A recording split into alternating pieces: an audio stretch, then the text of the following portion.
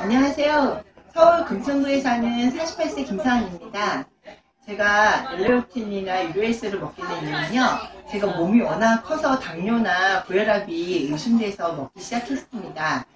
근데 이 약을 먹고 처음 며칠 딱 먹는 순간 제일 먼저 느꼈던 건 소변을 보면은 제가 몸이 많이 부어서 소변이 찔끔찔끔 나는데 소변이 굉장히 시원하게 빠졌다는 거고요.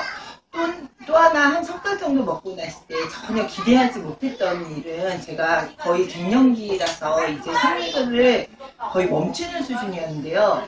제가 석 달 정도 먹고 나니까 생리혈 양이 되게 많아지더라고요. 그래서 몸속에 노폐물이 다 빠져나가는 것 같아서 몸이 굉장히 개운한 기분이 들었어요. 그리고 마지막으로 제가 느끼는 변화 중에 하나는 제가 한쪽 눈을 라식 수술하고 한쪽 눈은 아직도 렌즈를 끼고 있는데 이게 점점 나이가 들수록 눈이 뿌옇고 안개 낀 것 같았는데 이게 눈이 굉장히 환해지더라고요. 그래서 약간 막 벌레 같은 거 날아다니는 느낌 이런 것들도 없어지고 침침했던 게 조금 나아지니까는 기분은 굉장히 좋아서 앞으로 이걸 꾸준히 먹으면 좀 더 많은 변화가 더 생길 것 같아서 많은 기대를 하고 먹겠습니다. 감사합니다.